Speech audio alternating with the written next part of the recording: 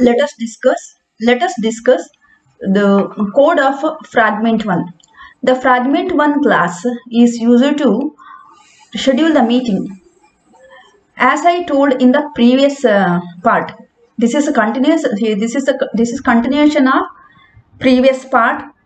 The previous in the previous part we have studied how to create database to store the data. Now when we schedule the meeting using fragment 1 then data need to be stored in the database. First we have to schedule the meeting. To schedule the meeting the code is uh, given in the fragment 1 and this fragment 1 is an activity. Okay? You have to create a activity fragment 1 in the app. Okay? Right click on the app and select create new activity. Okay? New then activity. Okay? You have to select activity and then empty activity you have to select empty activity.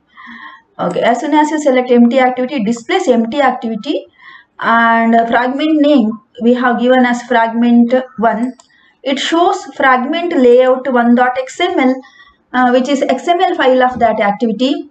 If you double click on fragment layout 1.xml it shows you design. Okay uh, the design of fragment 1.xml is given here uh, design of fragment 1.xml interface okay? This is a fragment 1 interface. Here there is text view text view text view for date time meeting agenda. And this we are going to type here date. Here we are going to type time. And here we are going to type meeting agenda. And this is calendar. Calendar we are going to uh, create using widgets that I already shown in the previous example uh, in the previous uh, part in the first part of this program. Okay now how the code works we see. When we click on add meeting schedule whatever we typed or selected from the calendar that date and in time whatever we typed and meeting agenda whatever we typed should be stored in the database. For that purpose we see fragment 1 uh, dot java file okay? See fragment 1 dot java file and here uh, public class fragment 1 extends the fragment you know? Uh, fragment 1 is uh, our own class uh, that uh, we created the activity. And then here extends extends indicates uh, it uh, extends from the base class okay? Okay the base class is fragment okay? Base class is fragment okay? Now this extends fragment we have to type.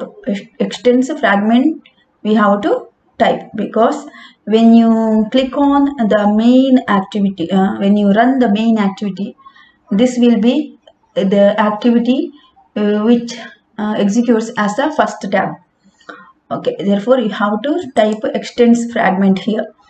And then you know the edit text you have already created for date time and then agenda. And then there is a database connection object dbc okay and then there is a calendar view object named as calendar view. When you give extends fragment uh, it allows you to import the class okay fragment okay and you have to import fragment class uh, that will be shown as a suggestion by this app. Now we know we are created different objects for uh, edit text database connection and for calendar view and for button. Now we are going to map the object with the, our user interface. User interface is txt date txt time. We are going to map to date and time and agenda uh, to agenda. As well as now there is button btn1 we are mapping to btn. And there is calendar which uh, id is uh, mcal. Okay. And we are mapping it to calendar view and dbc is a database object. We are selecting new database connection and get activity. And calendar view dot set visible uh, is now currently invisible. At the beginning calendar view will be invisible. Okay next date dot set on click listener. Okay now here when uh, the text we uh, text box edit text box to type the date. Okay? When we uh, keep the mouse or click click the mouse on that edit text then set on click listener method will be called. And here you know set on click listener uh, is a method which takes the view dot on click listener as the parameter and then uh, on click method we are going to implement as uh, click on event. Now see there is a function called close keyboard is uh, called because when you click on uh, the text view date. Then calendar need to be displayed. Indicates you have to select the date from the calendar not allowed to type from the keyboard. Okay therefore first calendar view dot set visibility is view dot visible. The calendar view is visible and then when you select a date from the calendar. Then calendar view dot set on date change listener event will executes okay on uh, when you select appropriate date the date need to be uh, displayed in the edit text. To access selected date there is a method implemented on select date change and from the calendar view object year month and day of month is taken as a parameter and the day of month slash month plus 1 slash year indicates month is started from 0 it has to be incremented by 1 okay and then year then date. All will be concatenated with the slash and stored in the string variable d. And edit text date will be set as this uh, selected date. And then calendar view will be invisible okay? By using calendar view dot set visibility view dot invisible. Thus we are setting the meeting date from the calendar. Next is uh, the meeting agenda and meeting time we have to type okay in the fragment 1 interface. This we have to type okay. And next when you click on button uh, schedule meeting or save meeting okay when you click on button add meeting schedule add meeting schedule then this uh, new view on click listener method need to be implemented. Okay? And the on click method is defined as you know when you are going to click on button then the whatever date time and meeting agenda you have given in the edit text has to be saved in the database to save it in the database following procedure is used. First three variables are declared and from the text box or edit text box whatever date time agenda is uh, stored it will be extracted by using get text command and stored in the m date m time m agenda. And next these three variables now having meeting date meeting time and agenda. Now uh, it has to be inserted in the database.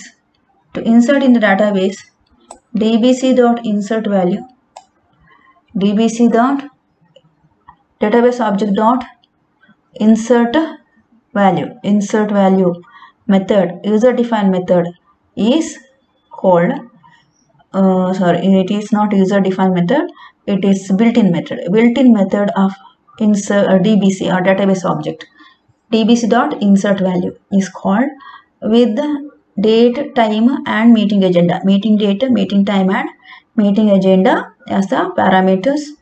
And uh, if the data is inserted see insert value is uh, this uh, system defined method of database object okay?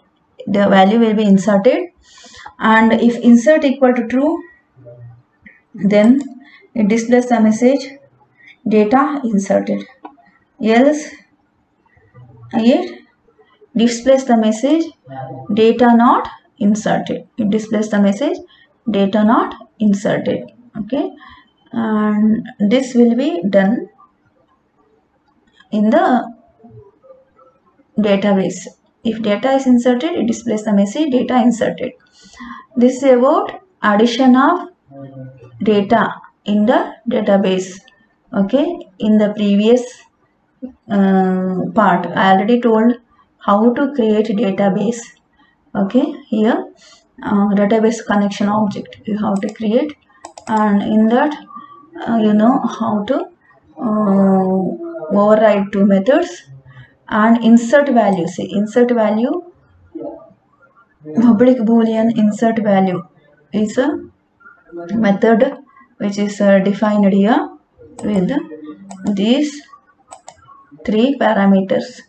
Therefore here insert value is nothing but user defined method not system defined method. And here i have told uh, so it is uh, user defined method. Okay? It is a user defined method. Insert value is a user defined method not system defined method and this insert value method need to be defined in the database connection java. And parameters will be received and database connection.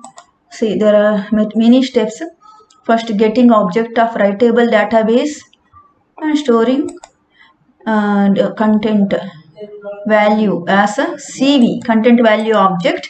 And then uh, calling insert method. Then calling insert method to insert.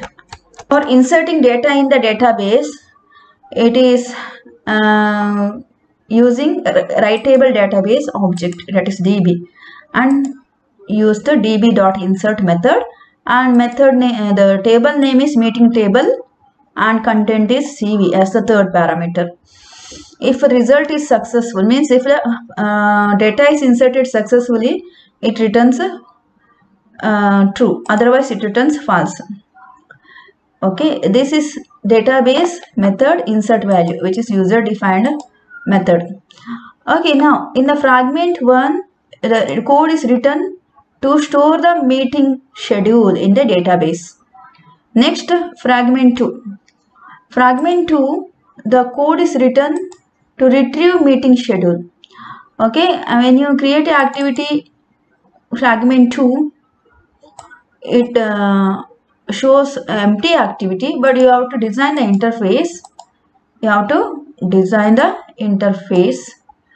To design the interface you have to design any this is text view select date to get meeting detail and then uh, similarly here it displays the calendar and when you have to when you are going to select date from the calendar and click on search to get meeting detail it fetches from the database.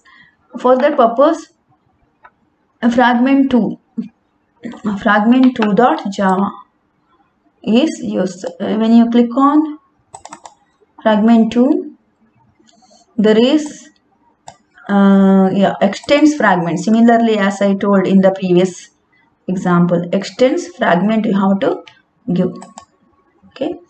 And this uh, we see uh, in the next part of the uh, recording. Okay. Because otherwise it will be very big